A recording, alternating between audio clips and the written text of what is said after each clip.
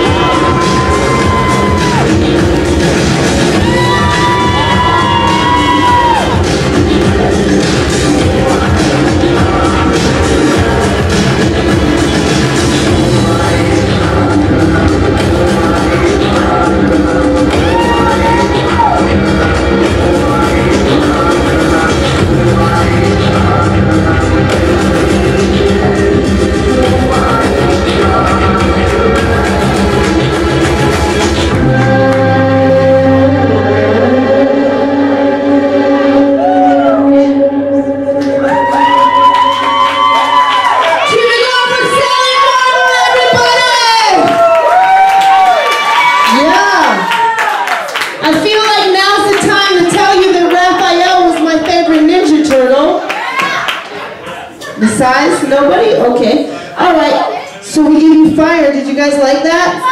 Fire from Sally Marvel, everybody. She performs every Friday at Bordel for vaudeville, so please check her out if you're interested.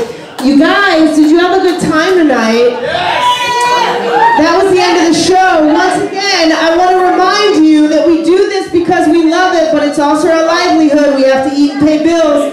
And you guys all got in here for free. There's nowhere else in Chicago where you can go and see a free show like this. Just like you tip your bartenders, I want you to think about please putting a few dollars in this hat for us, all us poor, lowly performers who take our clothes off and eat fire because those were fucking tricks. That was real. She was really eating fire. It's really fucking hot. Put some money